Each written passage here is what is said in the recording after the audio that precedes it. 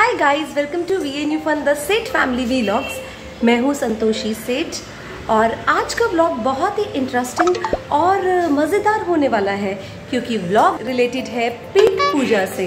जी हाँ आज का व्लॉग है रेसिपी ब्लॉग अगर आप पंजाबी से अगर कभी लंच या डिनर पे जाएँ तो आपको दो चीज़ें खाने को ज़रूर मिलेंगी। एक है दाल मखनी और दूसरी शाही पनीर। तो मैंने जैसे आपसे कहा था कि मैं बहुत जल्द आपसे अपनी शाही पनीर की रेसिपी शेयर करूँगी।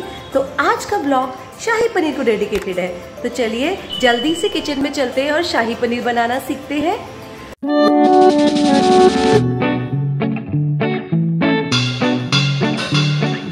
शाही पनीर बनाने के लिए जो सामान चाहिए इंग्रेडिएंट्स चाहिए, वो है इस प्रकार।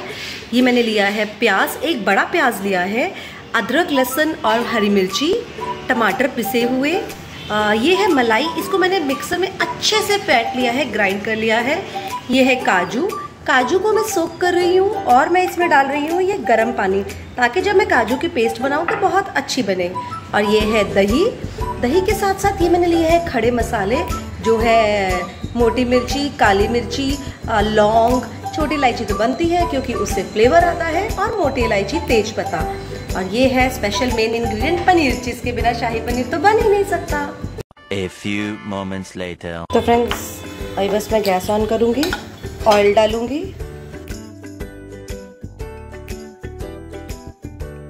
जैसे ही तेल गरम होने लगेगा मैं जीरा डालूँगी। तो अभी बस तेल गरम होने वाला है। तो गाइस तेल गरम हो गया है। अब इसमें मैं जीरा डालूँगी।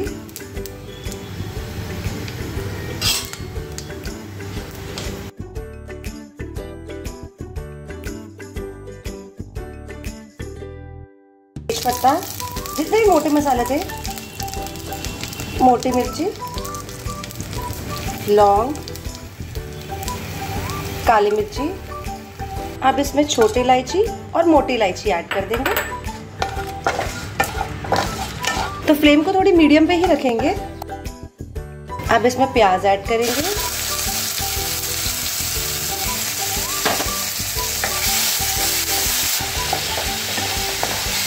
तो चलाएँगे।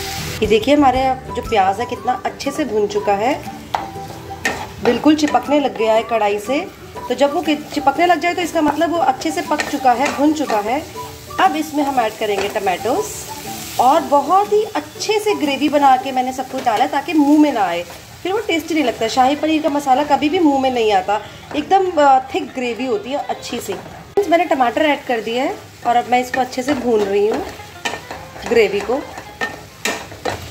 बिल्कुल किसी भी तरह का लंप नहीं होना चाहिए। अच्छे से ग्रेवी मिक्स होनी चाहिए। कभी भी काजू की जो हम ग्रेवी बनाएँगे, उसको प्याज के साथ नहीं ऐड करेंगे, क्योंकि काजू की ग्रेवी भी जल्दी पक जाती है। उसको प्याज, टमाटर को अच्छे से भुनने के बाद ही ऐड करेंगे, ताकि उसका फ्लेवर मेंटेन रहे।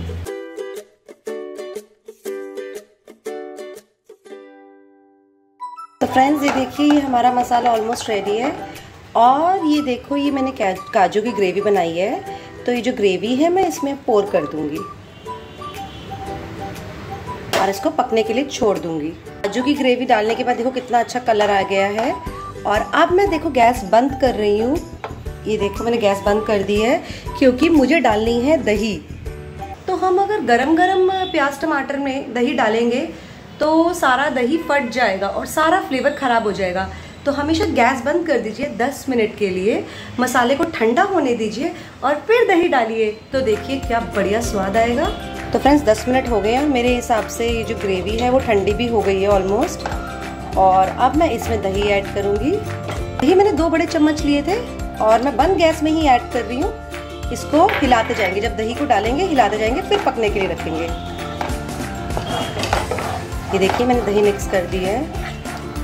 बहुत सारे लोग दही नहीं डालते बट अगर आप दही डाल के बनाएँगे तो शाही पनीर का स्वाद अलग ही आएगा। अब मैं बस गैस ऑन करूँगी और इसको पकने के लिए छोड़ दूँगी 10 मिनट के लिए। ये मैंने गैस ऑन कर दी है और दही को मैंने पकने के लिए छोड़ दिया है।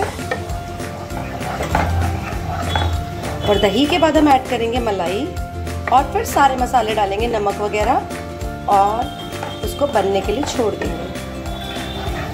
देखिए, दही पकने लग गई है। और अब मैं इसमें ये हमारी मलाई ऐड कर रही हूँ। ये मैंने फेट के रखी थी क्रीम की फॉर्म में, मिक्सर में। और जब मलाई डालेंगे तो भी चलाते रहेंगे, ताकि वो भी अच्छे से मिक्स हो जाए और बहुत सही फ्लेवर आए। कलर देखिए कैसे चेंज होता है इसका। मैंने सारे मसाले इसलिए नहीं डाले, अभी क्योंकि वो मैं लास्ट में डालती हूँ, फिर पकने के लिए छोड़ देती हूँ ढक के। ये अच्छे से पकने लग गया है, तेल छूट छूट के आ रहा है। ये देखिए साइड्स में चिपक रहा है। यही निशानी है कि सब्ज़ी तैयार हो रही है, जब तेल छूटने लगे। और अब हम इसमें ऐड करेंगे नमक। ये डाला मैंने नमक।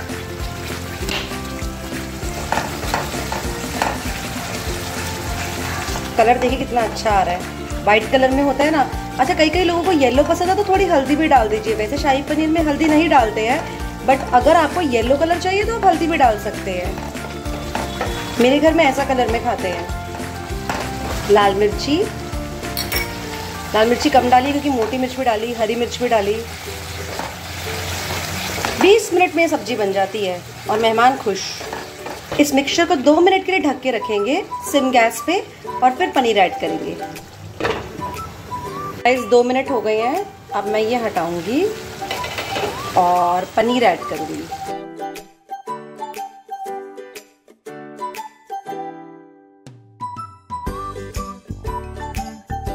आ गया मम्मी देख लेंगे। तो गाइस ये पनीर ऐड कर देंगे अब और।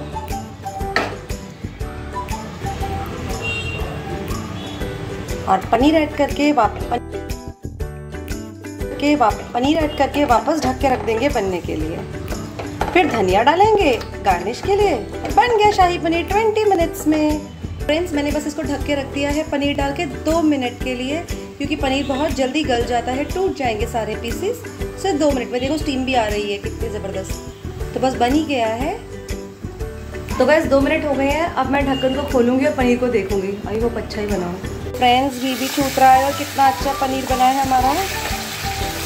शाही पनीर इज़ रेडी पंजाबी की फेवरेट डिश इज़ रेडी आ जाओ, खा लो। तो गाइज़ हमारा शाही पनीर बनके तैयार है। देखिए, मैंने सर्व कर दिया है। कैसा लग रहा है?